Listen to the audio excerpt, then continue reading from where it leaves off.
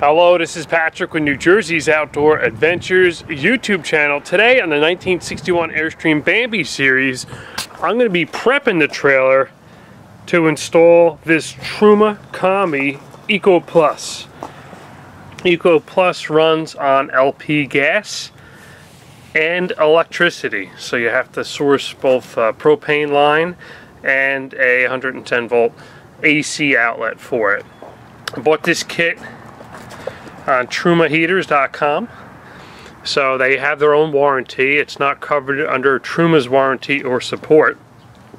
Uh, but today I'm going to show you. I'm going to show you how to remove the kitchen, remove the existing water heater, and where to mark out the rough-in for this Truma Combi. You can see in the box comes with a lot of items. Touch panel control, uh, I bought some extras with it, some extra fittings for duct work. This is the exhaust.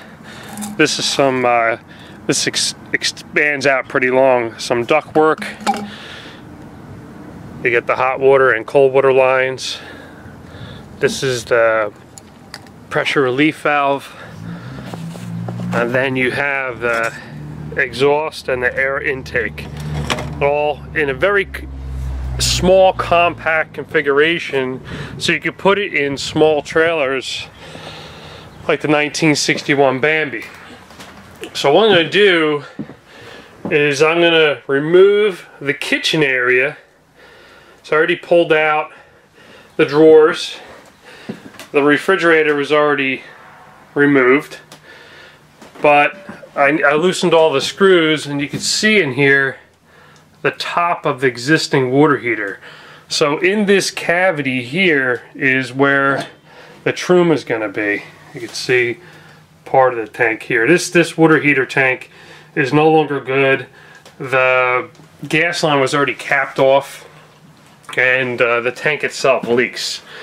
And then after I pull out the kitchen, I'm going to actually redo this cabinet and I decided to order a new countertop so I got black walnut countertop I'm going to be putting in here. Debating whether or not to keep the original sink. I do like the way it looks, but I just don't like the way it installs. And since I left you off last time, I freshened up the face of the Princess cooktop. And I decided I'm going to order a Nova Kool AC-DC compressor style refrigerator, the 3100 series, because it fits within the width and the height that I need. I will have to build a cabinet system. And then I have since then installed, fully installed the low point drains to drain down the freshwater tank and the front water lines. There'll be two more low point drains in the back. One for the Truma and one for the hot water line on that side of the trailer. This is where the low point drains come through the belly pan of the trailer and I'm gonna cut them just so they stick down about an inch. But this is where the water is gonna drain out for the freshwater tank and the water lines. And then this is the area where the Truma exhaust is gonna come out. Right now, this is where the current water heater exhaust comes out and this is where the air goes in. And then this bottom panel removes so you can ignite it. And I already loosened the screw, so I'm just going to pull this off so you can see. See the hardware there. Screw just goes into that socket and turns a quarter turn. But this is where you would light the pilot. So you'd spin it over to pilot light and then you would light the pilot right here and then you turn it on your setting warm, hot, or normal. And then there'd be flame that would go and heat up this element and then the exhaust is up top. But what I have to do now is I'm going to remove this piece here and this piece to gain access to the water heater. And you can see this shroud that they built to house this water heater. Uh, a lot of folks when they rehab the trailers they leave the shroud here and they just put a solid piece of aluminum across and then they put a modern water heater in its place. although a lot of people don't like the aesthetic look of this water heater, I, I do. I, I, think it, it fits with the age of the trailer. So I'm going to try to use all these pieces even though they're not, not going to be functional. I'm going to put the aluminum panel inside here, but then I'm going to lay these over on top to keep that look the same. So what I have to do is remove some of these screws here to get this panel off. And these screws aren't too long. But I'm going to save them all because I'm going to reuse a lot of them.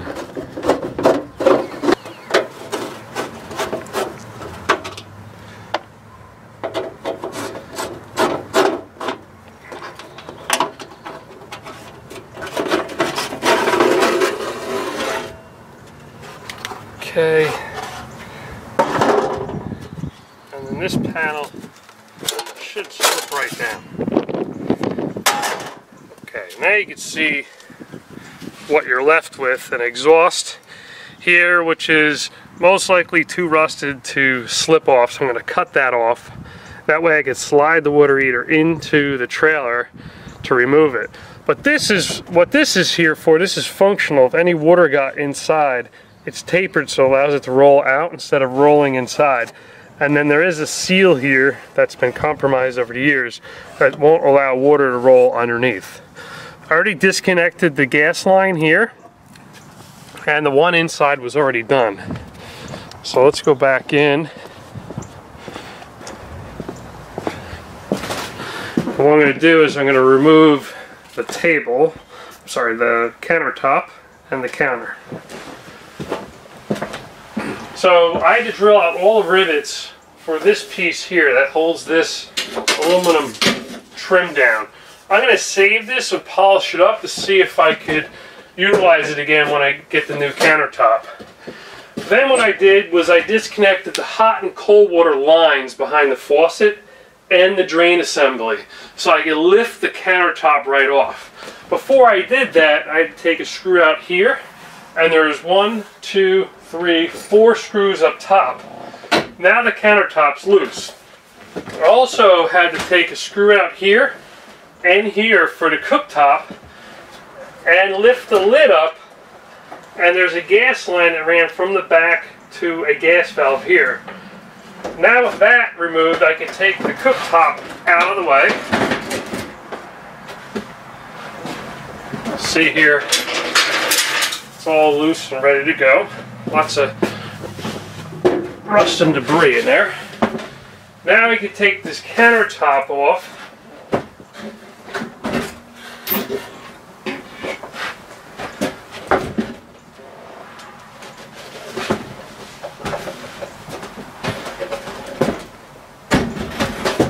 And just to rem remind you, I'm just mocking everything up at this point. Now that I have it off, you come and take a look and see what you have left. You have your drawer frames, which I'm going to salvage. You have thin Luan board that goes into a channel in the wall. These are the blocks the countertop was screwed into. There is the hot water supply. The cold water supply I dropped down already. There's the drain assembly. And then this is the shelf that's been compromised of plumbing leaks throughout the year it just collapsed. But what I'm going to do is I'm going to save it and use it as a template to cut a new one out. But I'm going to use a little bit thicker board.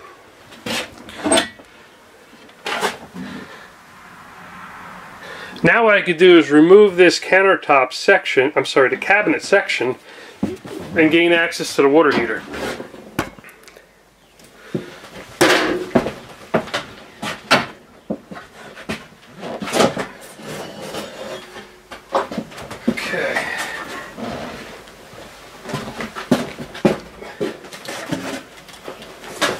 Now you can see what's left. We have this compromised shelf assembly. It's kind of all floppy right now.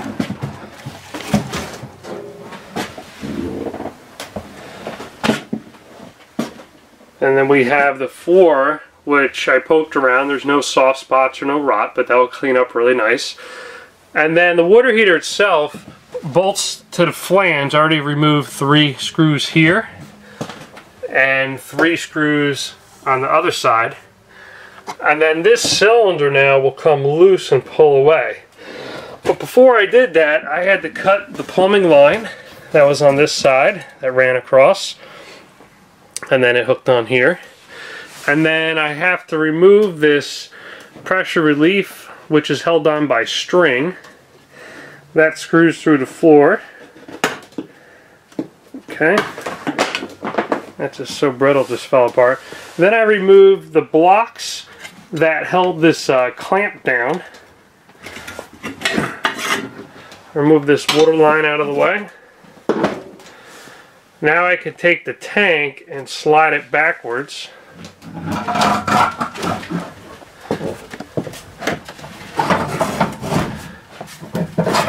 Okay, and you can see the exhaust, I cut it. I didn't cut through all the way because I wanted to show you there's a nest in there. A little mouse nest. There's your gas line. There's the interior gas line all capped off. Okay, now the water heater's free. I carried it outside so you can see how big it is compared to the Truma system. But the Truma is both heat and hot water. And it's really designed for a trailer that's 20 foot or less, or a van in that size range. Which this trailer is 16 foot from ball to bumper and only 13 foot on the inside. The weight is about the same. The thing's heavy as anything, but so is the Truma. Now let me show you the void of where the water heater was and you can see the outline of the cabinet.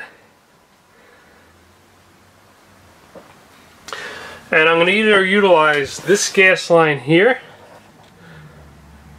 or the gas line that was for the old refrigerator that uh, the new refrigerator is going to be 12 volt compressor or 110 electricity AC so therefore I won't need that propane line. But when I put the Truma in, I did some measurements and I'm going to have to cut this shroud. And I'm going to keep it about an inch from the wall. And then the Truma should fit right in here. Okay, using a reciprocating saw, some gloves and some safety glasses, I'm going to cut the shroud around, but I'm going to make sure I'm not cutting through the floor, the sidewall, any plumbing, any electrical. So I'm going to keep the blade right about here.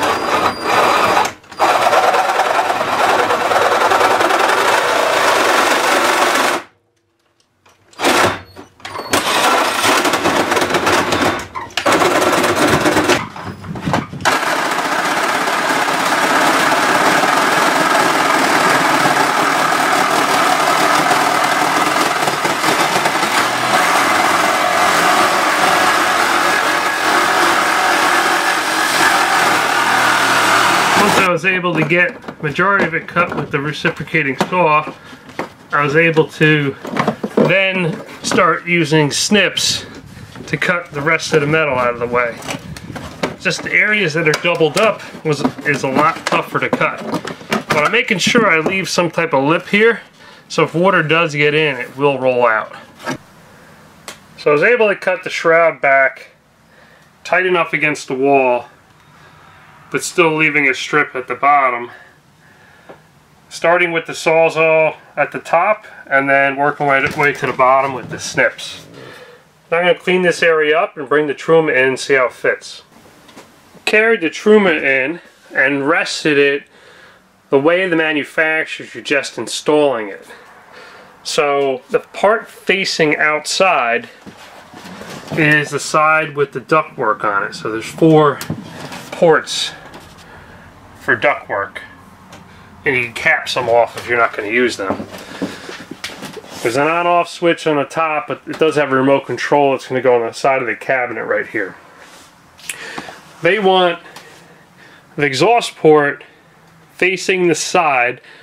The exhaust wraps around and goes outside. So this area right here is going to be cut out for the exhaust there's going to be an electrical outlet installed back here in the trailer. It's going to be a dedicated 20 amp line.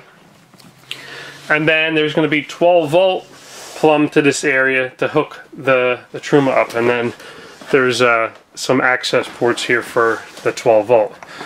On the bottom is the cold water inlet and the top is where the hot water goes out. And there's going to be a pressure relief valve that I'm going to drill through the floor. This propane line I'm going to reroute to go right to the propane here. And it'll give me plenty of room, plenty of clearance that they do require. You can see the outline of the old cabinet. So the cabinet itself won't interfere. And I'll have access if I ever need to work on anything right by opening up the cabinet. And then I'm going to put a little vent on the bottom of the cabinet and plumb one of the heat ducts out here. One of the heat ducts is going to run around the back to heat the bathroom. And then the other heat ducts are going to run under the cabinet underneath the wheel well all the way to the front of the trailer will be a register. There'll be one here and there'll be one behind the sofa. So those are the areas that I could use. I don't have to worry about height because you can see it's lower than the, the shelf height and it's going to fit in this area pretty well. Now to run through how the plumbing is going to connect, I'm going to have a cold water feed, whether it's city water or potable water by the 12 volt demand pump, come up to a low point drain. So this is going to be drilled through the bottom of the trailer. There's going to be T off the line that will allow me to drain the water heater down. That line will then continue and go through this uh, pressure reducer. And you got to make sure you follow the arrow. So once it could go this way. And that's uh, going to be removable if ever I need to service. Then they have a backflow preventer as well. And then it's going to go to this 90 degree elbow. These things just clip on. And it's going to be just like this but spaced out a little bit more with some half inch PEX, tubing in between.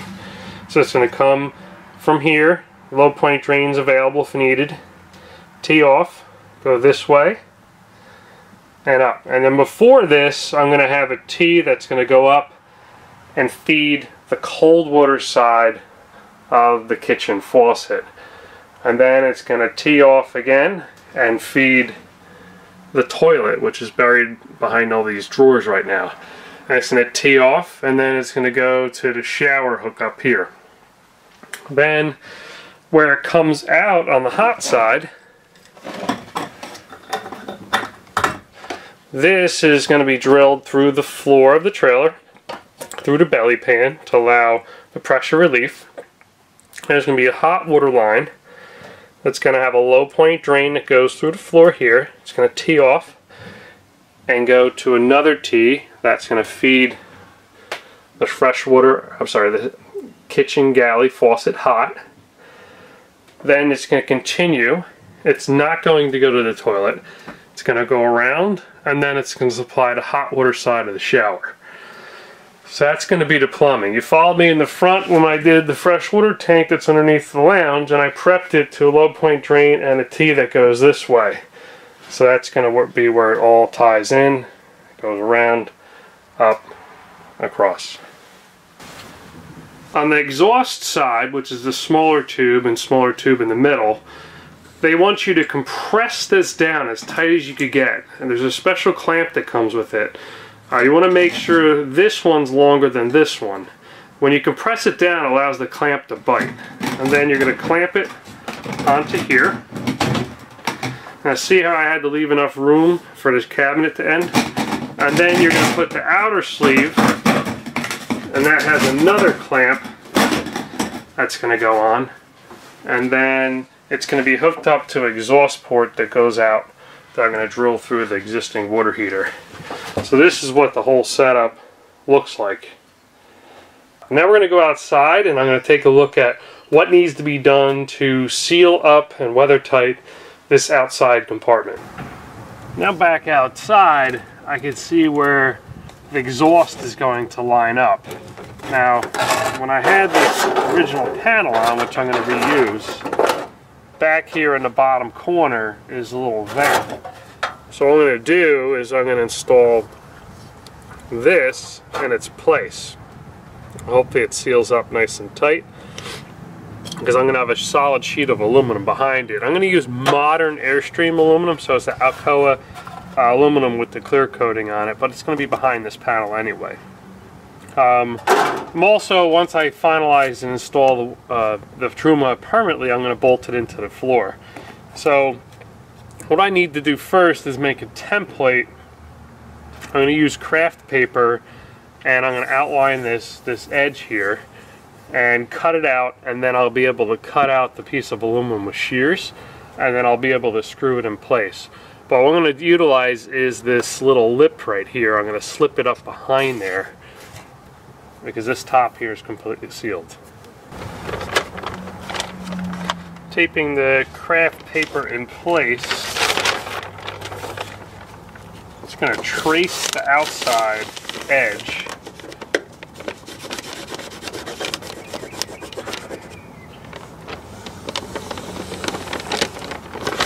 making sure it's nice and firm.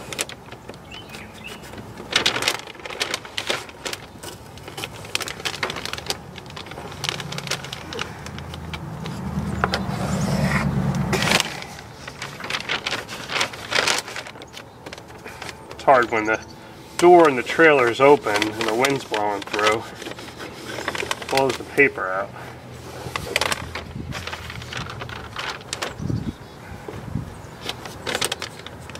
Okay, that's the top edge. Then it's going to leave a little portion to slip under the lip there. And I'm to cut this out and trace it onto uh, the modern style aluminum.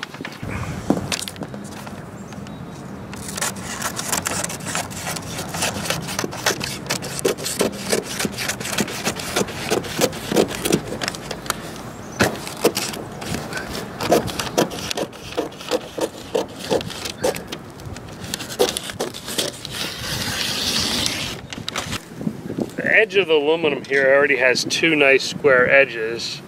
So all I have to do is make two more.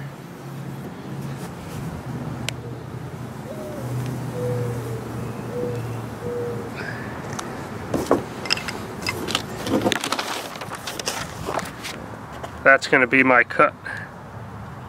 Using shears and then heavy gloves, I'm going to cut the aluminum.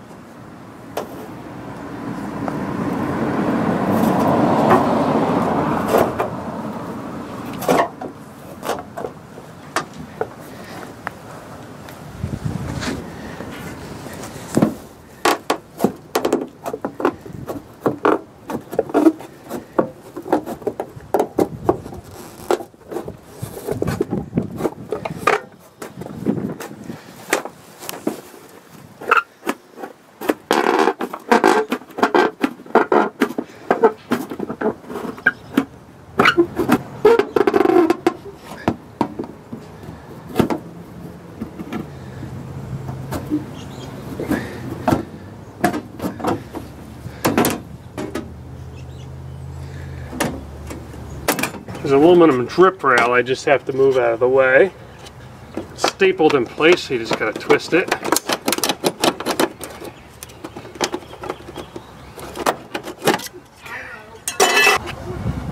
Now I'm gonna fit it into place. I rounded the bottom corners off so it fits the rounded part of the bottom. Slips over the top lip.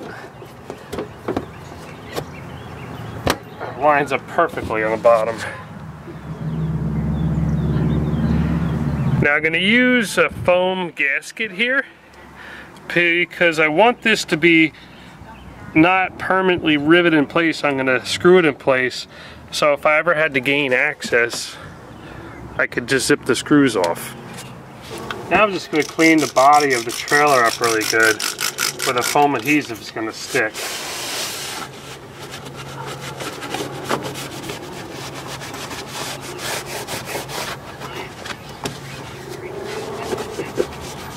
If you wanted a more modern look, you could just simply rivet this panel in place, drill the hole for the Truma exhaust, and be done with it uh, do, using uh, Olympic style rivets and nice and sealed off. But I do want to be able to get in here if I ever needed to for service. Now I'm going to apply the foam gasket, leaving the seam all the way at the bottom.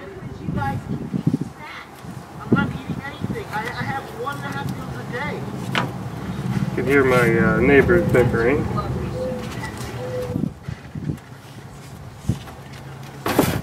I could pull off the backing to the foam tape here and apply it to the trailer.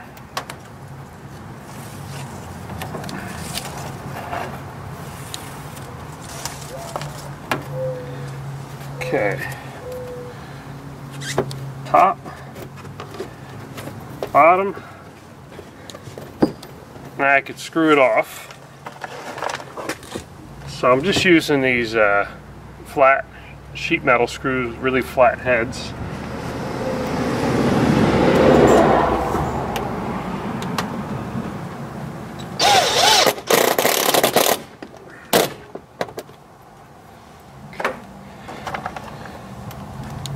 Just going to work from the corner work my way to the middle.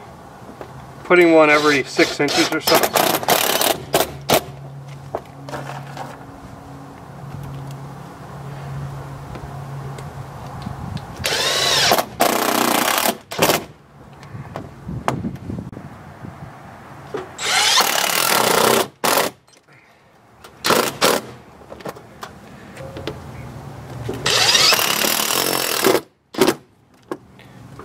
See how nice and tight it is.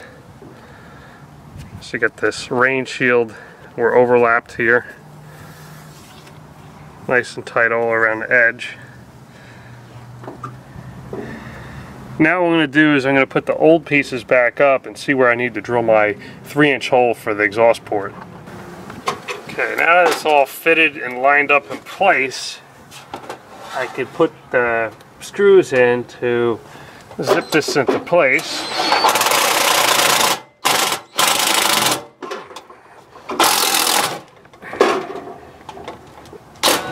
Okay. Now I can see when this is nice and secure how it's going to sit. Top piece is going to go right back in place right here and those holes are going to line up. It's going to have that original look but I'm going to drill a three inch hole right here.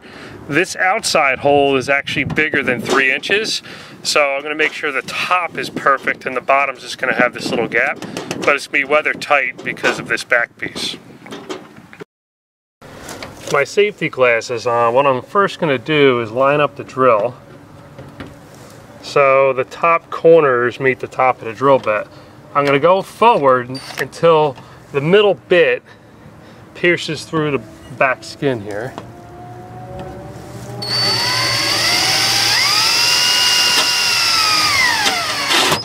Alright, then what I'm to do is run it in reverse just to score the surface here so it doesn't bite.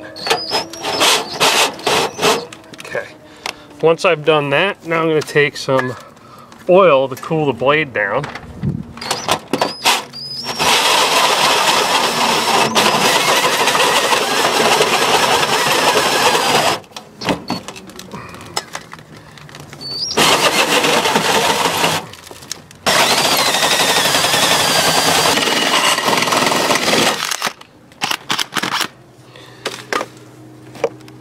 There's our hole.